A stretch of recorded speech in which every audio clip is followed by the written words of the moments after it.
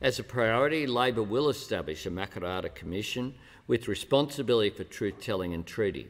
It will be established through a process of open nominations and review. The Commission will facilitate local truth telling and advise on a national framework for treaty making, and it will work with a voice to Parliament. This isn't about a treaty, Ben. But there are three parts of the Uluru is- Statement. Yeah, and this is So not. you're talking this about is the not about a treaty. But as part of treaty, which we This guess is- will be a following step, This is not about a do you foresee that compensation would be this paid? is not about a treaty. This isn't about that.